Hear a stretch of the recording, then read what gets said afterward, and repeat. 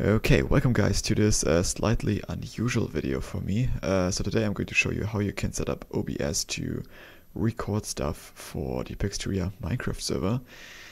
Uh, yeah, this might still be interesting to some people outside of the server, but this is just kind of my explanation to everybody who would like to contribute footage to like events and videos and stuff.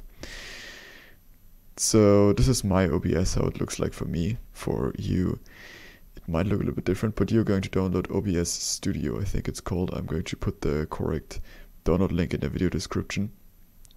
Um, I'm using OBS, or you should probably also use OBS, because it's fairly simple. I mean, it, it, fairly simple but very powerful, basically. So there are a lot of options, but uh, they make it possible to tweak everything, uh, so you have a good and high quality. Also, OBS is just available on all major platforms. That's Linux, macOS and Windows. Uh, so this is how it kind of looks like for me right now. In the beginning, I think it looks a little bit different. There aren't any scenes configured, I think. That's what we could probably start with. So you go into the plus and then you say, can uh, add a new scene. And now you can't see anything because now uh, this is black. But yeah, now you can click on that. I'm going to delete mine again because I already have a scene. Uh, and then you can set up these sources. So the default ones here are uh, the desktop capture. This is, uh, yeah, I mean, it depends on your platform. I think they are called a little bit differently in different uh, platforms. On Linux, it's a little bit, there are a few more things I think than on Windows, but uh, you'll be able to figure it out.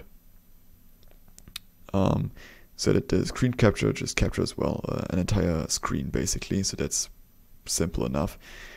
What we want to do for Minecraft though, uh, we want to do uh, window capture on Linux or for you on Windows, it's uh, a game capture basically. So this is just uh, create new, you can give it a name if you want to, or you also don't need to do that. And uh, then it just picks a, a random window here. So this is my Firefox or you can also use like any window in here. Uh, Minecraft would also pop up in here, but for me, I don't have Minecraft launched right now.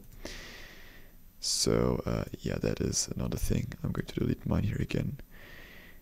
Uh, yeah, down here on the minus is the easiest one. You always have some settings here if you go into like the the settings thing.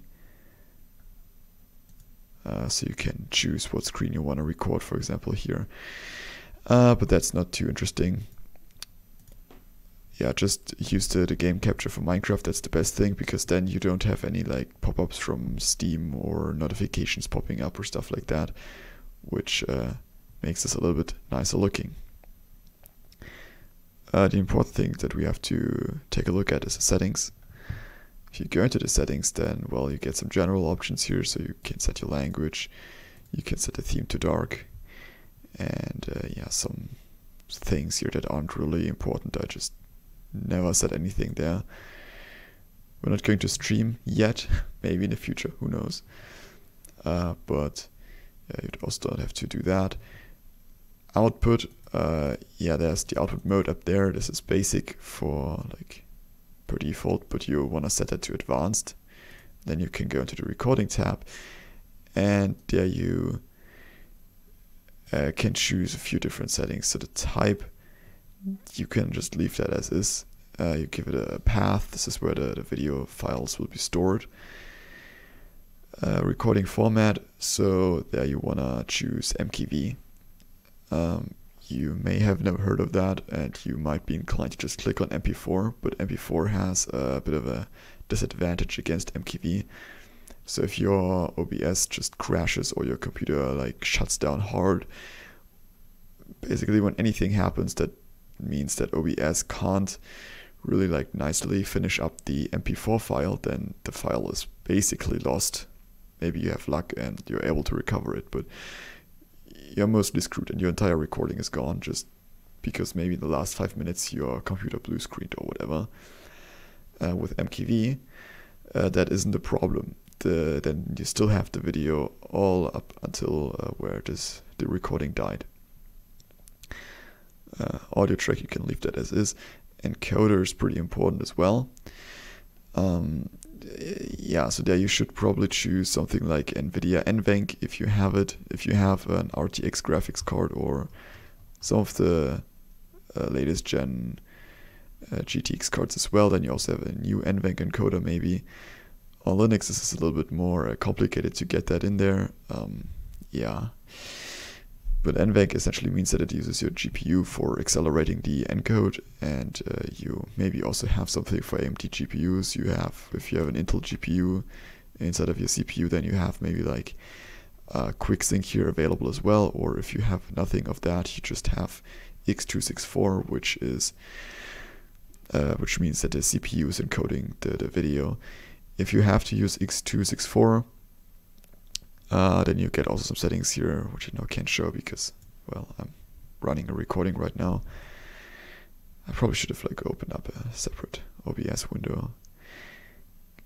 Um, there you can choose the, the quality. Oh yeah, down here you have that. Uh, for X264, this will look a little bit differently. They will have like super fast, ultra fast, slow, and stuff like that. You want to keep that as like super fast or ultra fast. Uh, for all I know is that the quality difference isn't actually that high and it just makes it a lot easier on your CPU. Uh, you're not going to rescale the output. Your uh, rate control I use just a CBR, which is a constant bit rate. So that means that uh, you're always at this at this bit rate and you're not uh, having like a variable bit rate. The bit rate essentially just is how much data gets encoded every second. So this is uh, with a 250 250,000 kilobits per second. That means that uh, OBS has well 250 kilobits of, of data per second that it can use up. So the lower this is, the more compressed uh, your video will look like, and also the worse it will look like. Uh, I want to keep that pretty high here because we are just going to re-render that in the end as well again and uh, starting up uh, here with a low bit rate and then encoding it again then the quality just gets even worse and then YouTube does its own encoding again and then yeah you just have like a pixel soup at the end. Soup pixel soup yeah. Uh, yeah so I just like constant bitrate and 250,000 kilobits per second. If you have a slow internet connection uh, especially slow upload then yeah you can do like a lower one as well like 50,000 maybe. Is also fine probably more than fine. And yeah with 50,000 you have a, a, lot smaller file size obviously so you have to upload less video. Um, yeah you may have some presets there. Typically they don't matter too much yeah, here we can leave it high as is. Yeah most of the settings don't really matter. Just kind of the ones that I talked about. Audio you can also just leave that as is. We don't need any replay buffer as well. Uh, audio here you have to set up uh, your your audio devices. So that's just your microphone. We're not going to record desktop audio because when we are recording videos together, then uh, yeah, you also have your OBS sounds in there, and then I have like OBS sounds of everyone, and that is uh, not what I want. Um, so yeah, you can set your desktop audio to default and your mic or auxiliary audio also to default, and then you can just mute the desktop audio whenever you don't need it. Uh, the rest also doesn't really matter. Uh, video is also important. Uh, here you want to set all the resolutions to the resolution of your main screen. Uh, yeah, simple enough. And FPS values, you put that to 60 FPS. And then this is all uh, nice high quality. Hotkeys doesn't really matter. Advanced, there you can do stuff like the file names that they are called don't really need to do that. What I would advise you to enable is this uh, little thing, which means automatically remux to MP4. What this does is it uh, does the remuxing process, which is converting from the MKV to an MP4 file automatically after you hit stop recording, so you don't have to worry about that. Uh, that doesn't take a, a lot of time. This is just like putting the H.264 video in a different container essentially, so just reads the file and writes it again. So it doesn't have to like re-render it or anything like that. Um, yeah. Other than that, this is uh, also not really that important. You can leave the, the rest here as is basically. Um, yeah, that's kind of how you use OBS. Down here you can see your audio sources stuff. You can enable, disable desktop audio and your microphone. Uh, yeah, it's best if you can see that like in the in the yellow range here. Uh, then the audio should be fine uh, from the volume. But I will in, in post uh, level these anyways, or try to level them somehow.